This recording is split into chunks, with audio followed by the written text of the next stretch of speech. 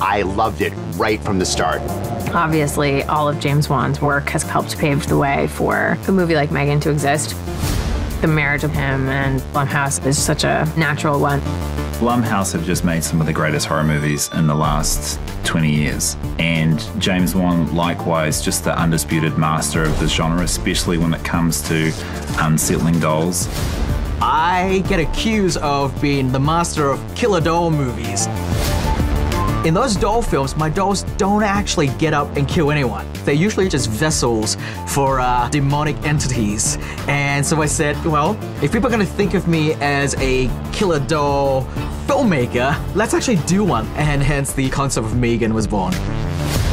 James really wanted M3GAN to be her own person. Do you think it's true that he's in a better place now?